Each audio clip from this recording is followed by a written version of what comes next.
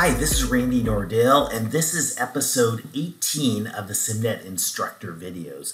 This episode is on archiving, and uh, we're going to focus on archiving courses, but you can archive other content within SIMnet also, which I'll show you a little bit later. But um, archiving courses, if I go to my courses, and I have some star, a bunch of starred courses here, but I can view all my courses, and I can look at my course list and see there's some older courses. I have some spring 2023 courses that I can archive. I also have some older 2019 content sample courses that I have in here as well that I can archive. And archive just cleans up your course list. It's a good idea to archive at least a couple times a year. Usually a best practice is or uh, best practice is to usually archive oh, three weeks, a month into the semester. And you could go in and archive your old classes. Um, you could have an, an admin go through, if you're an admin, go through and archive all previous semester classes. And archiving just takes them out of the current class list. It doesn't get rid of them, it doesn't delete them. Instructors can always go back in and find their course in their archive courses and pull it back out to make it a current course. So let me show you how to archive courses. If you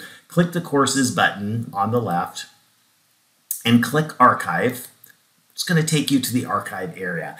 Similar to how some other areas in SIMnet are, the sim books and the projects, um, the active courses are listed on the left hand side, and the archive courses are listed on the right hand side. So, what I could do here is first of all, I'm going to go through and find all of my spring. Uh, courses, 2023 courses here, and I'm to select those. I'm to hold down the, the control key to select non-adjacent items, and then I'm going to go through and, and get rid of all of our, not get rid of, but archive all of my 2019 demo courses that I've used in the past. So I'm going to get a few of those as well, and I think that's all of them. So I don't know, I have half a dozen or so courses there.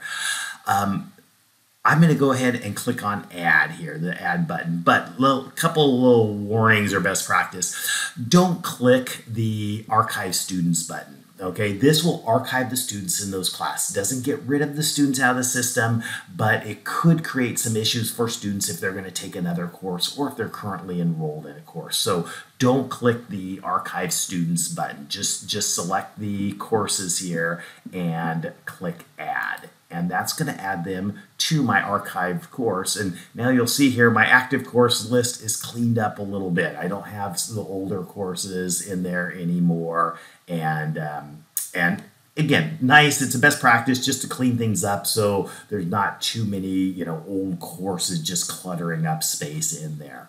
Um, if I wanted to unarchive a course, um, I could select any of these courses select one randomly here and click on remove and that would move it back to an active course. So that's archiving. It's a pretty simple process.